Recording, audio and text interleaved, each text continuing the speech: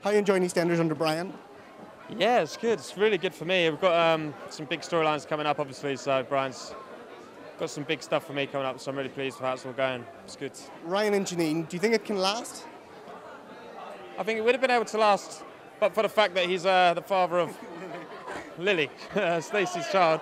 So um, I think if that wasn't the case, then maybe he would have had a chance. But um, obviously, being the father of the child, Janine gets very jealous. And um, when Janine gets jealous, things get dangerous. yeah, she's tempted to go to the desperate measures to get rid of Lily, perhaps? well, maybe. And we've got a few big storylines coming up where, uh, you know, what happens with Janine? She gets jealous, and then the jealousy pushes Ryan away and pushes him sort of towards Stacey, into the arms of Stacey.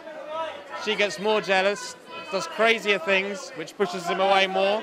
Um, but, you know, he, he still cares about her a lot and um, he finds himself in a quite a confused situation where you know he is he does love Janine or he, at least he thinks he loves Janine but she keeps pushing him away and she's jealous and uh, Stacey sort of seems like an obvious choice with a family unit for him.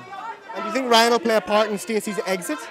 Yeah, we're filming a lot of building up to Lacey's leaving storylines now and um, you know been really busy. I've been working a lot today and all last week, this week and I think she's got another sort of month or so to go, but I'm sure it'll be Ryan, Janine, and you know the, the other people that have been involved in her life will, will, will be involved in her leaving story as well. Thanks a lot.